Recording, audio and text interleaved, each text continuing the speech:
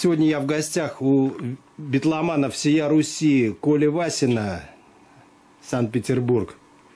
И сегодня он поделится своими воспоминаниями о великом событии в его жизни. И России. И России, конечно.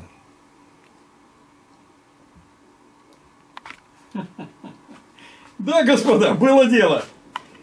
Это был не очень далекий, но все-таки еще тот лохматый моп-топ год, когда, когда Битлз еще были вместе.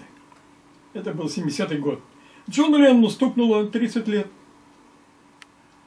И я послал ему телеграмму, я смело, я бы сказал, даже храбро, поехал на главпочту и отправил Джону Леннону в Лондон на Apple Records телеграмму поздравительную.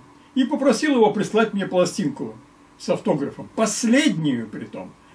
Please, Джон, пришли мне last record with autograph. И он прислал. Это было, конечно, сенсацией, и до сих пор ко мне со всей страны, уже прошло 50 лет, и со всей страны ко мне приезжают люди, э, и постоянно я слышу один и тот же вопрос. Коля, как и тебя не вызывали в большой дом? Я всем отвечаю, да, ребята, я еще жив.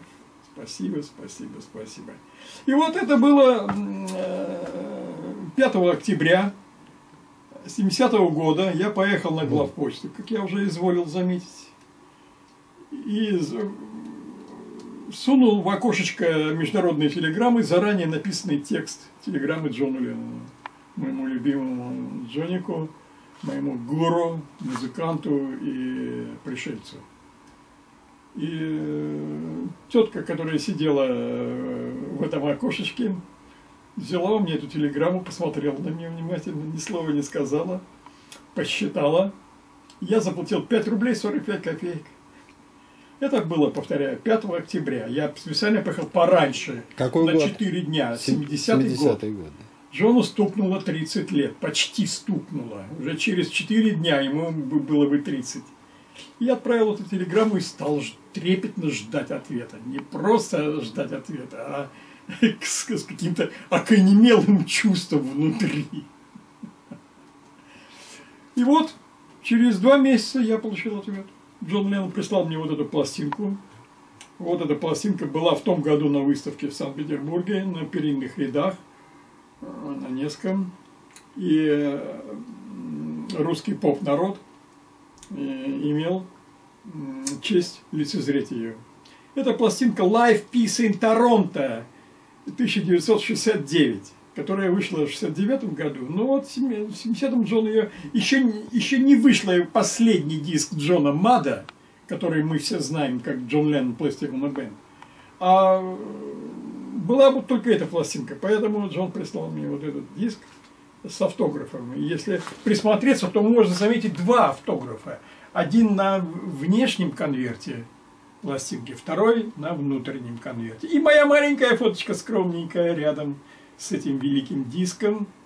Э, Я в своей комнате держу уже в руках эту пластинку, пришедшую с почты. Просто так, с обычной такой почты.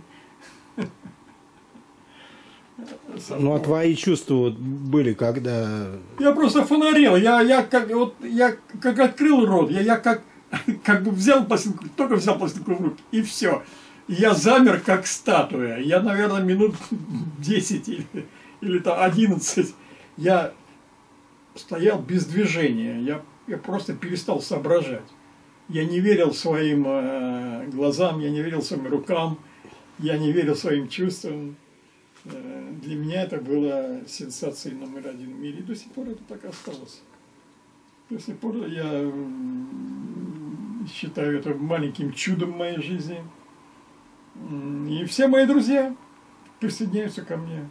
Все, все восхищаются до сих пор. И я говорю, что э, все эти 50 лет 70-го года до последнего времени ко мне постоянно раз там в месяц железно приходит кто-нибудь из Владивостока или из какого-нибудь Магадана и спрашивает, Коля, как же ты жив остался? Ведь правда ли, что Джон прислал тебе пластинку? Покажи. Да вот, ребята, уже пол, полгода стоит на полу. Э, некуда повесить. Уже э, информации море. Мне, мне нужен храм, чтобы показать все, что у меня есть. Девятиэтажный храм общим ростом 90 метров. Только такой храм сможет вместить мою коллекцию. А здесь у меня все в два, в три, в четыре ряда лежит, висит и, и прячется по углам. Получается, что ты был э, первым, наверное, единственным человеком, который переписывался с Джоном Ленноном, получается, да? Больше не было прецедентов. Не было никаких. Больше не было прецедентов. А вот э, были попытки отобрать там захват, не было, да? Нет, один раз было- Милиция А, обла- облаву была, была, делала? была. Слушай, вот ты, ты вспомнил этот момент. А После того, как эта пластинка появилась у меня, примерно через полгода я затеял подпольное дело. Я как бы устроил подпольный клуб. Э, музыкантский, фанский и В каком году это было? концертный. Это было в начале 71 года. М. Да, и мы начали устраивать концерты. И нас прихватили. Нас прихватили, ко мне э, должны были приехать менты, но я каким-то чудом узнал, что ко мне едут менты, и я схватил эту пластинку, вот именно Надо эту, же, надо и убежал из дома. Я успел убежать, потому что через пять минут они уже приехали и сделали обыск в моей, в моей комнате. Если бы они ее нашли, они могли ее отобрать, и я бы ее потерял. Может быть, может быть навсегда. Но я убежал в лес. Я жил на окраине Петербурга, на Ржевке. Я убежал в лес с этой пластинкой, потом сел на такси, поехал на Суворовский. На Суворовском у меня жил э, доверенный приятель. Я к нему приехал и напугал его, говорю, у меня прихват, у, меня менты сейчас, я тебе оставляю эту пластинку, береги ее, пока э, суть до. И сам поехал домой. Я не, я не пошел домой, было уже 11 вечера, я не пошел домой сразу. А я из-за из угла, уже в темноте, из- из-за угла соседнего дома, стал смотреть на свое окно. Я видел, как менты обыскивали мою комнату и двигались перед окном, влево-вправо, в белых рубашках с галстуком. Я вернулся домой только в 2 часа ночи, когда менты уже уехали. Вот так было в тот день, когда я прятал эту пластинку от ментов. Да. Была история. Я помню, вхожу два часа, я тихонько на цыпочках, у меня ключ там щелкнул значит, в двери на лестнице. И я на цыпочках вхожу в темноте, иду. Что ты думаешь? Передо мной стоит мать. В полный рост. Я чуть в нее не врезался. Э, В полумраке стоит, смотрит на меня и спрашивает. Ну и что? Ну и как? Я что-то буркнул и в свою комнату прошел сел в кресло, помню, она зашла, задала мне парочку еще беспысленных вопросов и ушла спать. И я завалился спать. А на следующий день я пошел на работу, я работал оформителем. Э, В километре от дома была какая-то э, полудохлая контора, типа, типа заводика какого-то. какого-то. Я там работал, стенгазеты делал. И э, я пришел туда, и часов в 11 утра меня забрали. Приехали за мной из большого дома Надо и, и же. отвезли на допрос, да. Потому что, На Литейный? на Литейный, да. Потому что они искали как бы деньги нашего клуба. Ага. Они думали, Я что... же, э, я тебе говорю, что я организовал э, подпольное концертное как бы предприятие Да, с да, музыкантами, да, да, да, с да. И мы устраивали потихонечку концерты, неофициально. Конечно, андеграунд. Это был андеграунд натуральный питерский. И они нас прихватили круто. И я чуть не потерял мою пластинку. Но вот Бог ее хранил. И до сих пор, и до сих пор она радует меня Ну, это как талисман, да, такой? А? Вечный талисман в жизни. Этот талисман это мой как бы, э, ну что ли,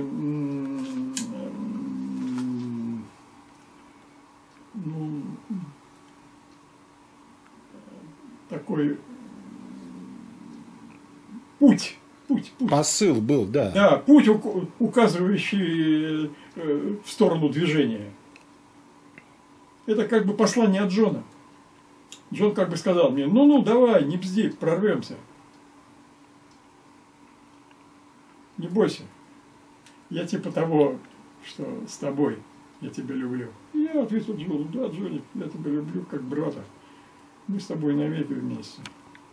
Ближе Джона мне ничего нет, только вот мама, папа, и то я Джоника считаю своим духовным папой, а мой э, нормальный папа, он все-таки не так меня грел, как Джон. Но, но тем не менее, хотя мой, мой э, натуральный папа был офицером, служил в совку, стрелял из пушек, артиллеристом был, подполковником. Но тем не менее, когда он вышел на пенсию, он зашел ко мне в комнату и говорит, Калюня, вот деньги, купи мне магнитофон, запиши Битлз. Ему было уже лет, лет 60. И он начал слушать Битлз в своей комнате, представляешь? Такой был дядька, супер. Но это уже было поздновато немножко. Это было уже, вот он как бы э, сломался, он как бы перешел на мою сторону в конце 70-х. А Джон был со мной всегда. С 64 года я услышал голос и имя Джона, и я полюбил его на всю жизнь. А, а ты рассказывал, э, как это случилось? То- Тоже на Ржевке ты услышал первый На Ржевке по радио. BBC я услышал Битлз. Это был великий момент моей жизни. Мгм. Мальчишка из соседнего дома притащил э, приемник, магнитофон с катушками. И мы за- записали Битлов, и он мне оставил эту запись катушки, вот эту музыкальную программу Битлов с шумами, с, с- с глушителем. Совки же уже в то время глушили. Всё. На Битлов э, постоянно наезжала волна страшенных звуков, типа мотора. Бу-бу-бу-бу-бу-бу-бу-бу-бу-бу-бу-бу-бу-бу-бу-бу. И, и, и she loves you, yeah, yeah, yeah, she loves... Бу-бу-бу-бу-бу-бу-бу-бу-бу-бу-бу-бу. Вот так мы слушали Битлов в 64 году. А в 66 году я уже открыл, вот в этом же доме, где я услышал Битлов, я открыл свой домашний Битлз-клуб. И ко мне пошел народ толпами. Сразу была протоптана народная толпа, и я сразу стал э, как бы лидером Битлз движения в Петербурге. Какой год это был? Это был 66 год. Вот, Когда я получается, 50 лет уже, да? да, 50-летие правильно, правильно. Когда я слышал револьвер, тогда я вообще все понял до, до- до конца. Мне все стало ясно. Мне открылся весь мир. Мне открылся Господь Бог. Мне стало понятно, в, как, в каком, э, при каком режиме я живу. Э, Этот э, дурацкий совок э, э, перестал как бы в моей жизни э, играть какую-то роль. Да, это... Я, я стал drop-out. Я, я выпал. Мгм, Я выпал мгм, из- из мгм, совка. мгм, мгм. И Я жил только черным рынком. У меня была своя огромная компания, тысячи людей знали меня, все шли ко мне в гости, все тащили в одной руке какую-нибудь фотографию Битлов, вырезку о них, в другой руке бутылка вина. И мы так праздновали жизнь, вот, начиная с 66 года и вплоть до последнего времени. Мы, мы так и живем. И другого, и ничего лучшего я не могу придумать до сих пор.